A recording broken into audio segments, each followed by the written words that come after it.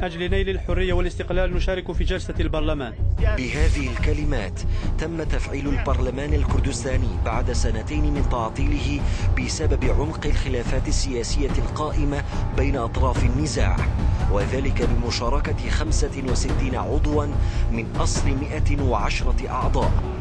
مسألة الاستفتاء الشعبي تصدرت جدول أعمال البرلمان حيث أقر بأغلبية أصوات الأعضاء المشاركين في الجلسة إجراء الاستفتاء الشعبي في الخامس والعشرين من الشهر الحالي. نحن ننضوي تحت عراق واحد وهذا الدستور هو ملك العراقيين جميعا بمن في ذلك الأكراد من أبناء شعبنا. فأعتقد أنه لا شيء يمكن أن يتمخض عن تحدي الدستور بهذا الشكل. إذا تحديت الدستور وتحديت حدود العراق وحدود المنطقة فسيكون ذلك دعوة عامة لدول المنطقة لانتهاك الحدود العراقية وهو أمر في غاية الخطورة. قال البيت الأبيض إن الولايات المتحدة لا تدعم نية حكومة الإقليم في إجراء استفتاء في وقت لاحق من الشهر الجاري.